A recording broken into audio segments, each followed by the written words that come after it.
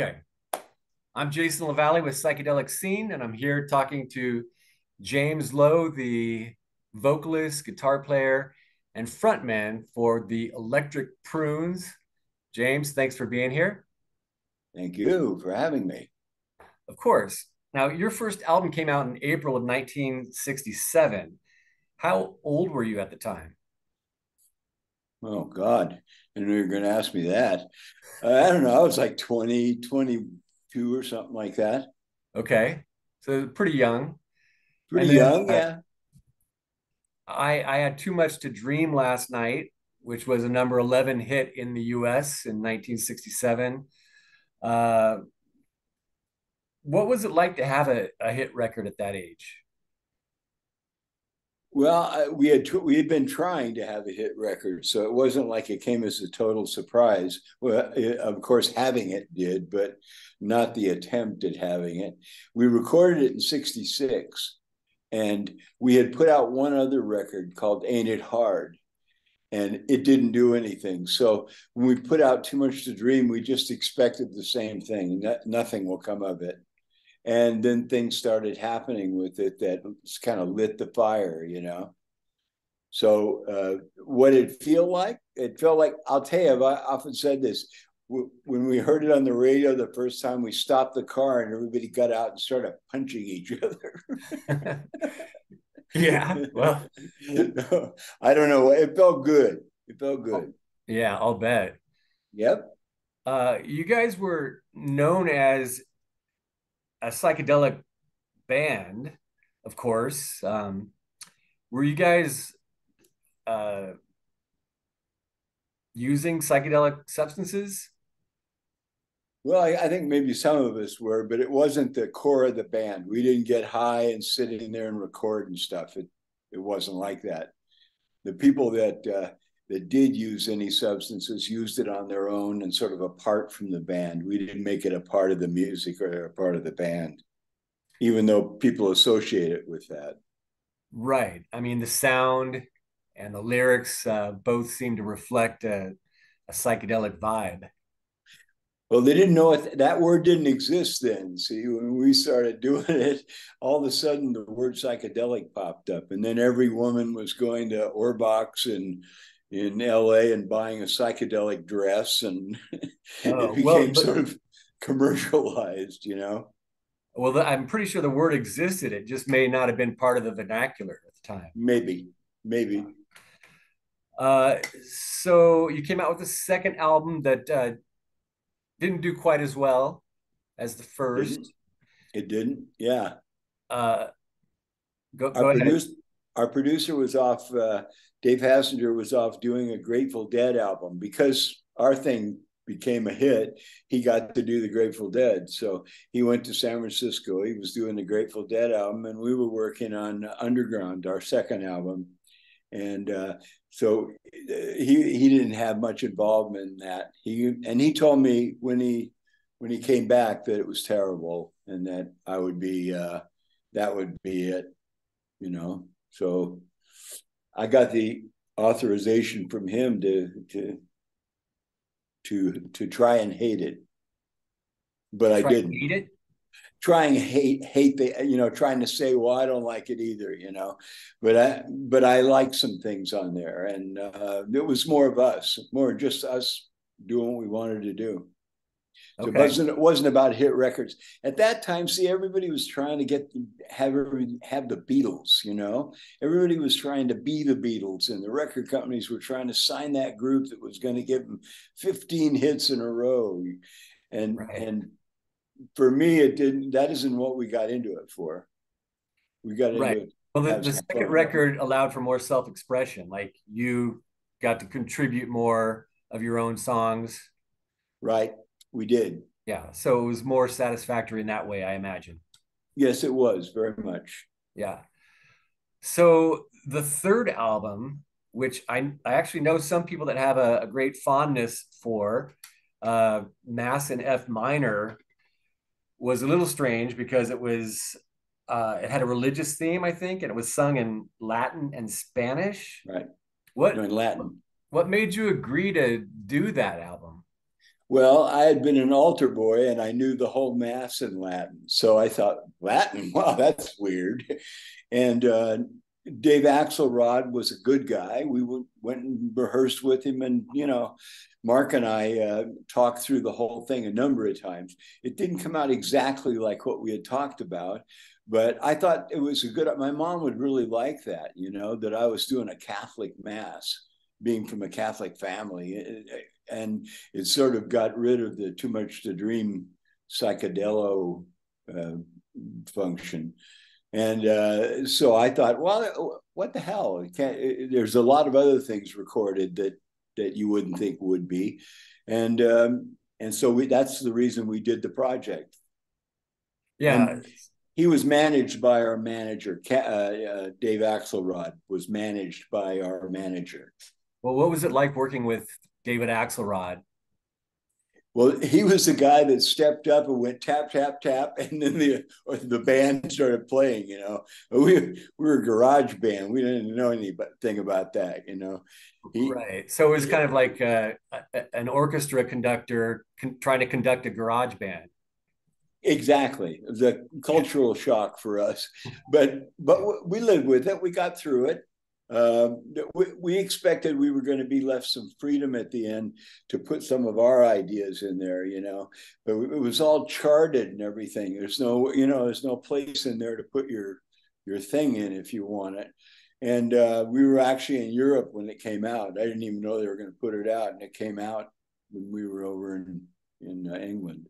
And then one of the, I think the lead track, Kyrie Eleison or something, uh, got picked up for the movie Easy Rider, which gave it a kind of a, a, new life. Right, and people considered it must be cool if uh, you know if those guys. I don't know why they picked it. it. I never found that out, and I never got paid for it. So oh. uh, uh, it's double whammy. well, you know, you, I, uh, I recently posted something on the psychedelic scene Facebook page about your lawsuit in 2004, 20 years ago, concerning royalties owed to you by the music publishing company and the label. Uh, was that part of that? Um, what what can you tell me about that? This was when in 2004. Yes. Um, well, yeah, we probably did file some stuff. Mark would handle all of that stuff. I had nothing to do with it, so I, we probably did. We got. Uh, we never gave the name away. I never signed off on the name. Uh, Dave Hassinger's wife asked me if they could use it, and I said, "Sure, why not? I'm not going to use it." So, um, but they never had the rights to the name. They just they used it, as many people have. Oh, so they used the the name the Electric Prunes, but didn't pay you for the royalties that came from. You did get paid for the work that you did on the original three albums. Uh, yeah, I guess we did.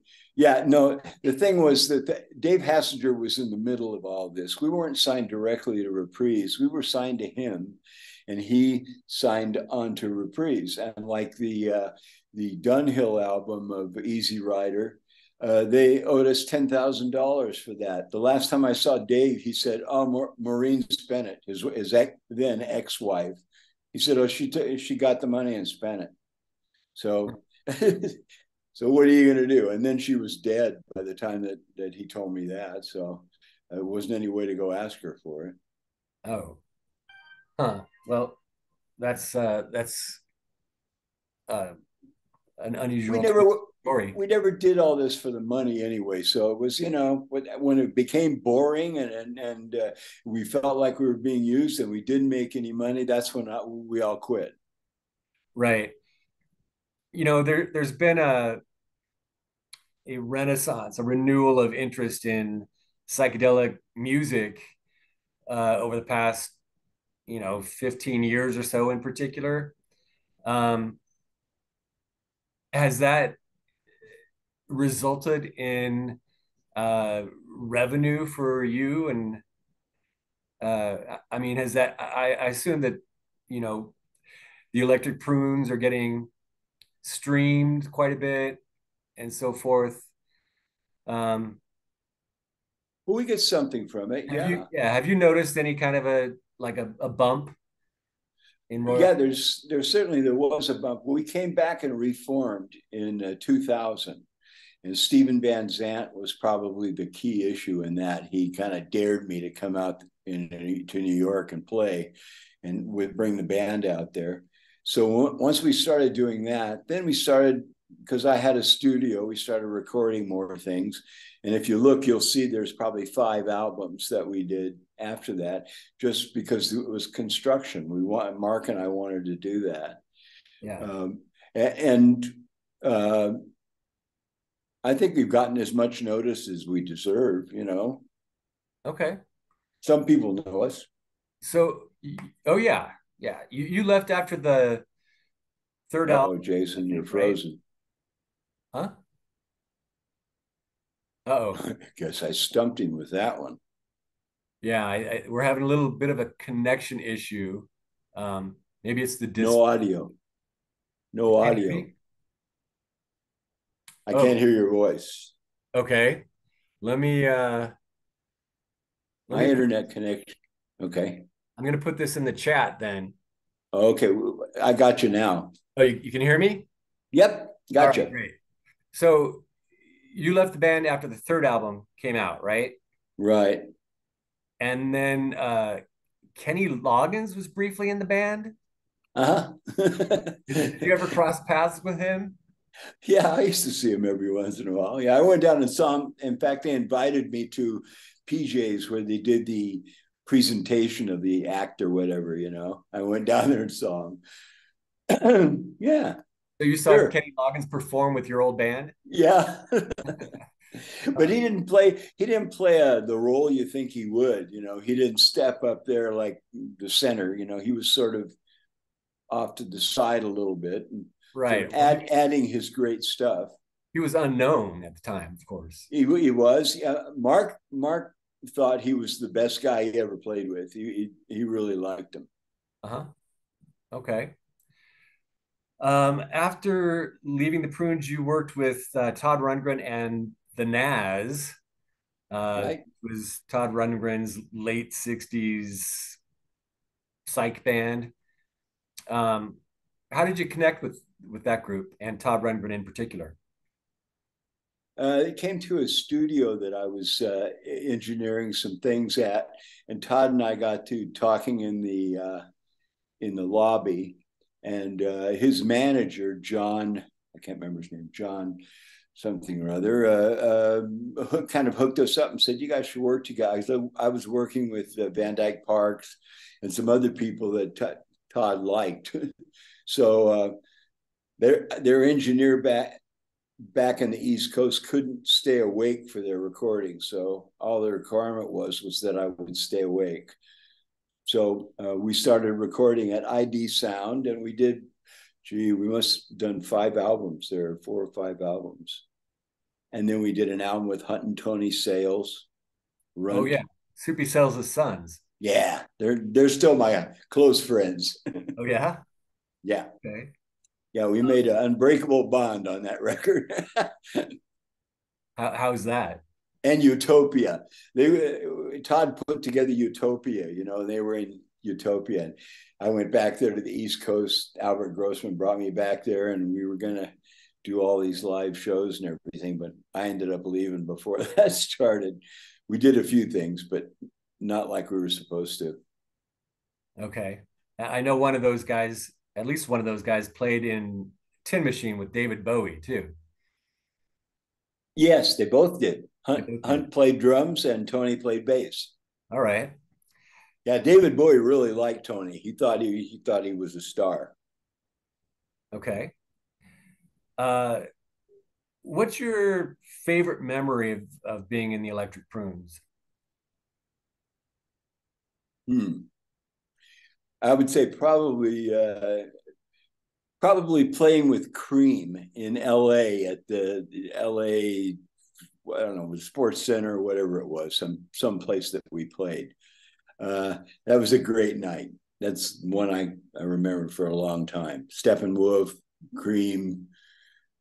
I don't remember who else, but it was it was a good night. So you guys opened for those acts?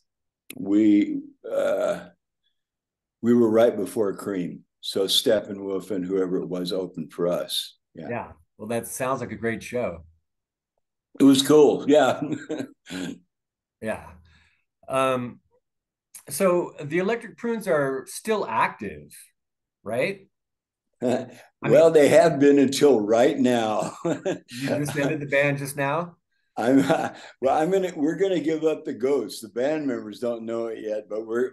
Uh, when Mark was playing uh, with, he was he was playing with Billy Corgan on his live dates. He would play bass for him on the live dates, and he came to me and said, "Hey, Billy wrote a song for us." So I uh, okay, right. So I went to uh, Kerry Brown's studio and and sure enough, it was a song, and I thought, well, you know what? Uh, we should record it. So we recorded that song uh, and uh, another one, a B side by him.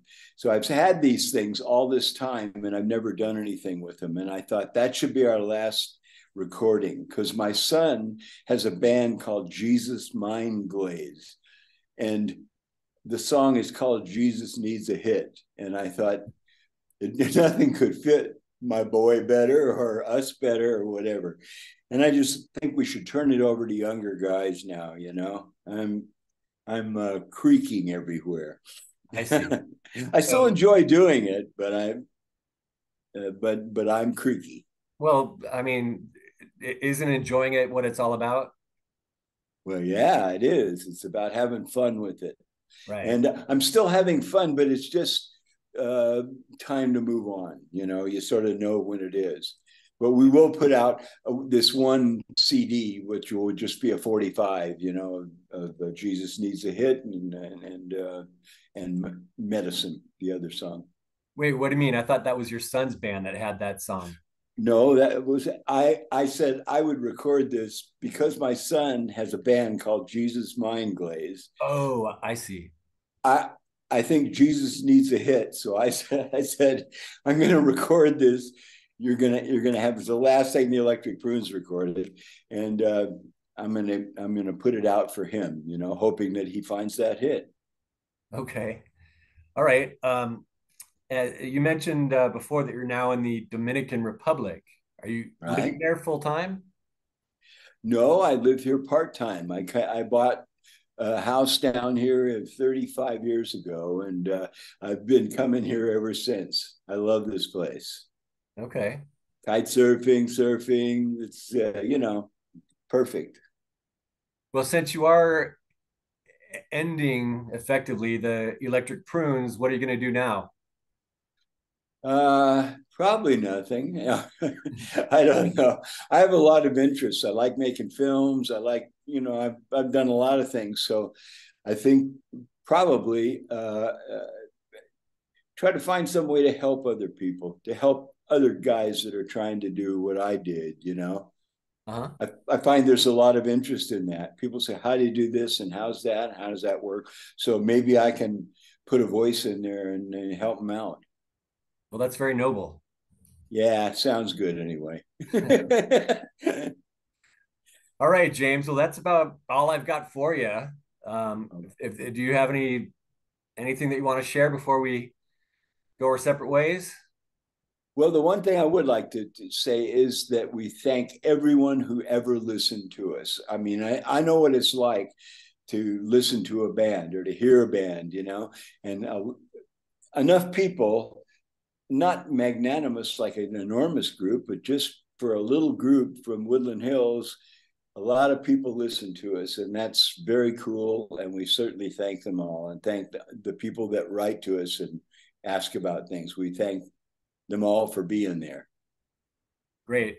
Uh, one little thing I'm going to say is that uh, I, I love the song Onie, which I think is uh, an underappreciated one, but it's always been one of my favorite songs of, of the band's. You know, a lot of people like that song. That that song was written by Nancy Mantz to her daughter, oh. who was kind of going astray or something, I think, you know. And so she she wrote that song for her. Wow. Well, that's interesting. I'm going to have to list, listen to it from that perspective. Good idea. All right, James. Well, thank you so much for taking the time. I really appreciate it. Well, thank you very much for asking, Jason. and you go on and have a great, great day. Thanks. You do the same. Okay. Ciao. Ciao.